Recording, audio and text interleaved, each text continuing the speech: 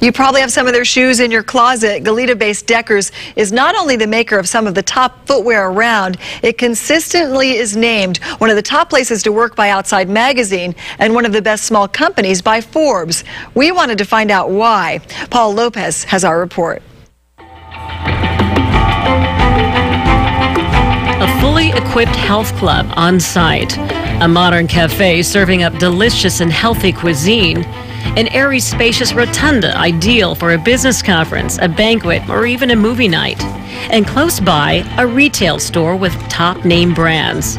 You might get the idea this is an upscale shopping mall. Not so. Deckers is more like a family than it is a company in many respects. I would say it's the best company I've ever worked for. This isn't some super mall, but perhaps a super model for future American corporations, and it's right here in our backyard. It's a lifestyle oriented company. We build brands from footwear. So we, we are above all else a footwear company. As a matter of fact, our goal is to be the best footwear company in the world. Deckers Outdoor Corporation, the maker of those extremely popular Ugg boots, Sanuk, and Teva footwear, among other top brands, brands that celebrities like NFL quarterback Tom Brady are often seen wearing. Deckers Outdoor was started by a UCSB student back in 1973. Up until this year, it operated out of four smaller buildings nearby in Goleta.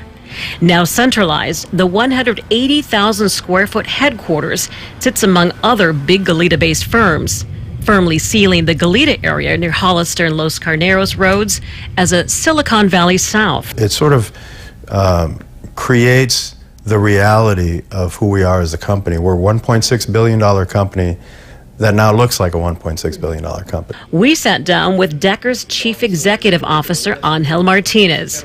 His casual style and all those employee amenities you just saw reflect much of the company's philosophy, lifestyle, and culture. One of the things that sets Deckers apart is our commitment to our culture and what defines us as a company. Um, you know, the shoes are an outcome Great shoes are an outcome of all kinds of other things happening. Uh, relationships that you have, the integrity of our employees, uh, the willingness to speak your mind, to be creative. Oh, yeah, that's a cool idea, too. The design of the new Deckers headquarters is intended to encourage creativity. There are lots of open and airy workstations where employees can sit and talk to one another, exchange ideas. Areas where a doodle can become those to dive for boots, athletic shoes, or sandals you might find yourself wearing next season. Always thinking about different processes, but wanting to make sure that we have those classic characteristics of our product as far as comfort and quality and craftsmanship that we're known for. And when the ideas for next season's must have shoes can't be generated here, Deckers sends its designers out for inspiration. This design board of colors and textures was inspired by a recent employee field trip to Yosemite National Park. And that inspiration trip ends up as materials, as colors, as texture. This so called Omni store on site is one of Martinez's innovative ideas. It's a retail testing ground for new technologies and selling strategies. And Deckers likes to keep up with current trends and events. And in fact, this is a line of shoes made just for mom. I think that any mom would look great in these. And then a couple of things happen. In his nine years as CEO, Martinez, a Cuban immigrant who grew up in the Bronx, has taken the company from 200 million to one and a half billion in global revenue. You'll often see the Deckers logo and a good chunk of that revenue behind many local charities. California is where Martinez went to school and where he wanted to live. And while other major cities courted Deckers along with its tax revenues, Martinez knew he wanted to be here and wants to keep local talent here as well. We want to be a home for the best talent.